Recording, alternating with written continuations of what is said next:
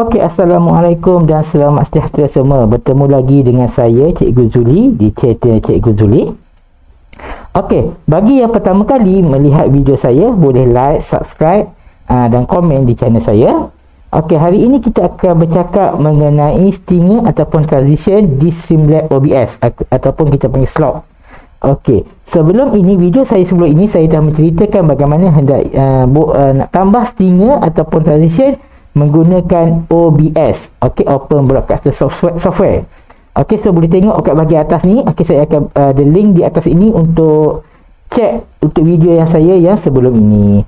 Okey so kita akan pergi dahulu bagaimana kita hendak membuat atau menambah stinger di Streamlabs OBS okey ini adalah paparan untuk Streamlabs OBS okey ada ini adalah bahagian scene. Okey okey bahagian scene kita ini adalah bahagian source dan ini adalah bahagian mixer.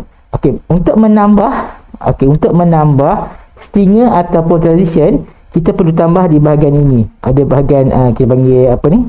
Uh, seperti roda gear ni. Okey saya besarkan sedikit. Okey. Ah ni. Gambar gear roda ni mesti berada di bahagian uh, scene. Okey bahagian scene Okey, bahagian C, segi roda ini kita tekan. Okey. Kita akan keluar inilah uh, pada kita punya ni, kita akan keluar macam ini. So apa kita kena buat ialah kita tambah add transition. Okey, kita tambah add transition. Ini kita boleh ubah nama dia. Kita tekan kita ubah. Okey. So bahagian type ni, bahagian type ini kita kena ubah kepada stinger. Okey ini, this one, stinger. Okey, uh, nampak kot saya besarkan sikit lah. Bagi nampak. Okey. Terus cari perkataan stinger, this one, stinger. Okey. Ini kita tekan. Okey, so dia akan ada browse file uh, transition point type transition point monitor off ni. So kita nak cari kat mana? Ok so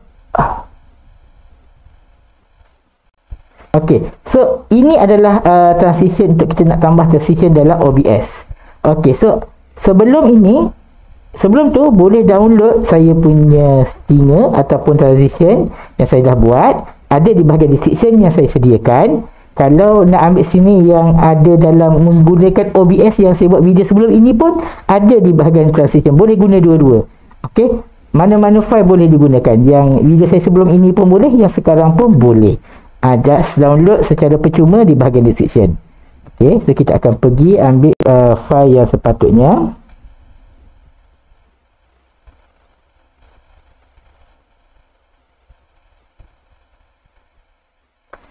Okey, saya dah ambil. Okey.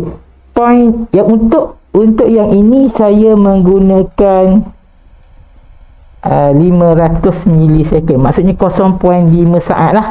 Okey, 0.5 saat untuk transition point. Maksudnya dia berubah selepas daripada point A ke point B, dia akan berubah dalam uh, selepas 0.5 saat dia akan berubah. Uh, frame tu akan berubah. Okey.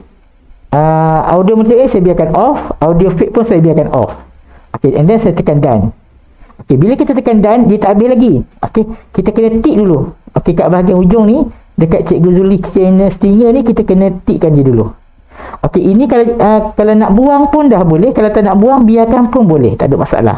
Okay, kalau nak tambah lagi, boleh tambah lagi. Add transition yang baru pun boleh. Katakan kita nak delete yang ni, pun tekan gambar delete ni, kita boleh buang. Semudah itu sahaja. Okey, so saya dah tambah. Kalau uh, kalau kawan-kawan nak tambah lagi single, boleh tambah lagi single lah. Okey, kalau saya nak gunakan ini, saya klik yang ini, saya done. Okey, so bila kita berubah antara scene ke scene, contoh ke yang ini.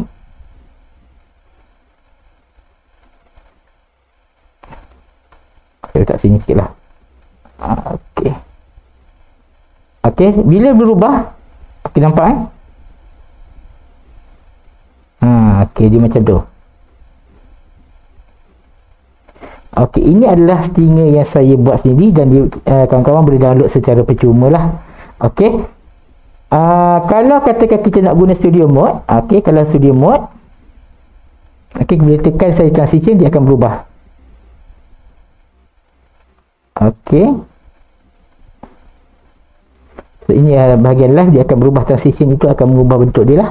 Okey. Okey, itu saja daripada saya. Kalau rasa-rasa kawan apa ni video saya ini dapat membantu atau menjadikan kawan uh, YouTuber YouTuber yang lebih baik, okey boleh like, subscribe dan komen di channel saya. Insya-Allah saya akan beri lagi uh, transition atau streaming yang lain secara percuma kepada kawan-kawan. Okey, itu saja daripada saya. Bye bye. Assalamualaikum dan selamat sejahtera.